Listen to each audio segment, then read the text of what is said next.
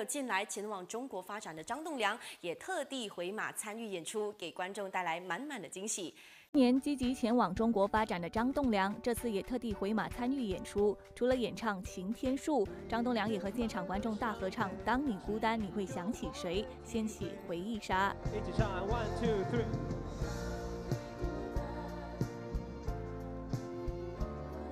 我有一首歌叫《擎天树》，其实它就是一种力量，嗯，就支撑你的力量，就像一棵擎天树一样。